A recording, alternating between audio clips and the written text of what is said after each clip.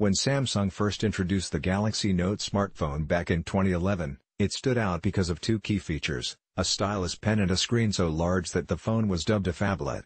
Somewhere between a phone and a tablet, the Note was derided at the time for being comically huge. Smash cut to present day, and millions of people have grown comfortable with phone displays larger than 5. 5 inches. The Galaxy Note, despite its ever-increasing size, no longer seems to stand out. And the growth of smartphones, in general, is slowing. Samsung's response to the industry's stagnation, how about two Galaxy Notes? How about three? Earlier today, the company revealed its new Galaxy Note 10 smartphone.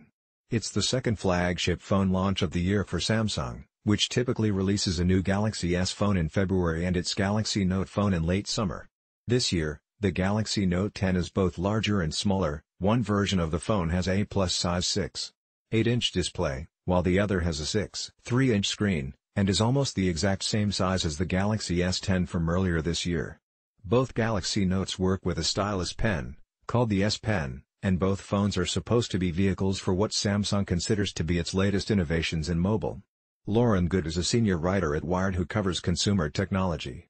They're expensive, as flagship smartphones are these days, the Galaxy Note 10 starts at $950, while the larger Galaxy Note 10 Plus starts at $1,100. That means the Galaxy S10 smartphone is slightly less expensive, ranging from $900 to $1,000, but not by much.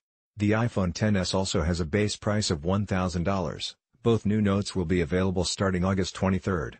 Later this month, the Galaxy Note 10 will also be available as a 5G phone through Verizon Wireless, but neither Samsung nor Verizon have released pricing details for this faster version of the phone.